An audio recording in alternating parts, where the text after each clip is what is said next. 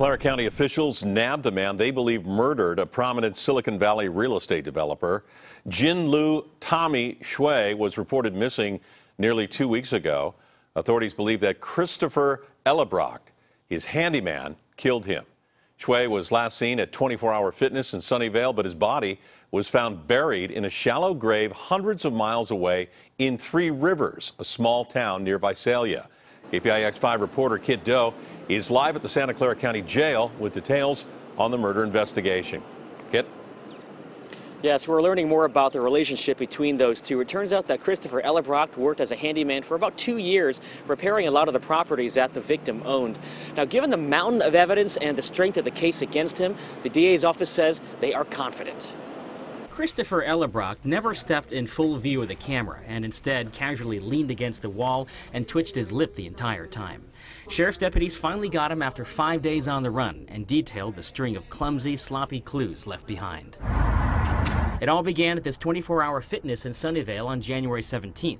Gin Lu Shwe, also known as Tommy, never came home that night and missed a meeting the next morning. The family became suspicious when they say his cell phone pinged a tower that night near a cemetery five miles away.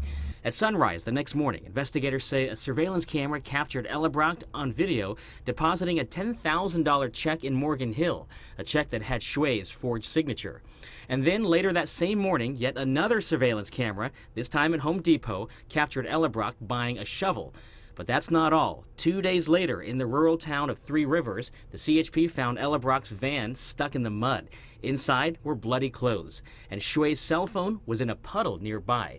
But the big question, where was Ellebracht? They got their answer two days later on January 22nd. The suspect was arrested by the Visalia Police Department for an unrelated charge after he brandished a knife at someone near a fast food restaurant. The next day, Ellebracht's relative told investigators he had gone up and, quote, buried a problem in the mountains. Searchers looked through the wooded area near the van, and that's when they discovered Shwe buried in a shallow grave. The coroner says Shwe was strangled. As the details of my father's disappearance became available, we were shocked and saddened that my father's life story has come to such a tragic end. As a Cupertino school board member, Shwe was one of the first Asians elected to a government position in the Bay Area.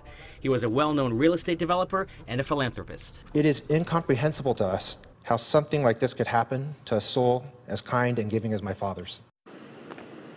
And the suspect's next court appearance is February 23rd, where he is expected to plead not guilty.